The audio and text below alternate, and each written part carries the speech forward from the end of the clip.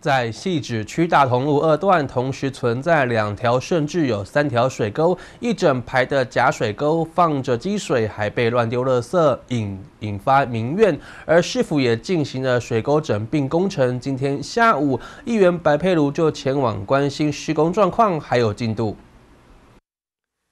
这是之前会看的情况。里长指着并排的两条水沟说：“过了水源路的大同路上都是这样的状况。如果都有流通、各有功能也就算了，打开靠近人行道的沟盖一看，上头只有槟榔渣、烟蒂，之前还长了杂草。”里长直批一整排的假水沟藏污纳垢，好困扰。不过再来到同一个地方，大型机具人员进场，水沟整并工程已经在进行中。呃，在民国九十几年的大同路拓宽的当中呢，有一个侧沟，它并没有。把它更新。那我们呃这一次呢，直接在我们大同里的这个侧沟的部分，呃，我们把它做全新的扩大又更新，然后帮你里面的那个呃下水道的那个呃水沟也一起接，希望能够给我们大同里一个好的呃干净的以及没有臭味的一个一个环境。因为在大同里跟里门里这一段，因为三条水沟。的状况，所以目前呢，呃，我们将它整并成一条侧沟了。然后未来的水沟盖呢，也会跟这个路面来齐平，用新式的水沟盖来处理。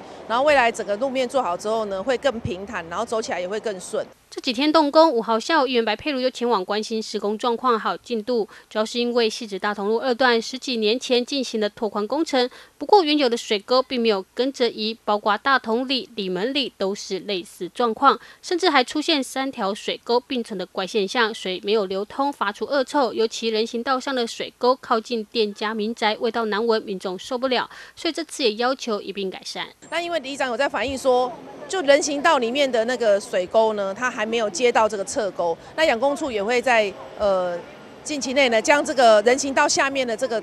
这一条水沟也会进去侧沟啦，让整个住家这边附近的环境可以更好。因为现在目前的状况都会很臭，所以呃我们希望说。不管是大同里或是里门里这个路段的这个侧沟呢，工程能够透过改善，可以整个环境更好。三条水沟并成一条，四十天的工期，预计大同路二段水沟整并工程七月底会完成，让周边整体环境会更好。这陈惠玲，细致采访报道。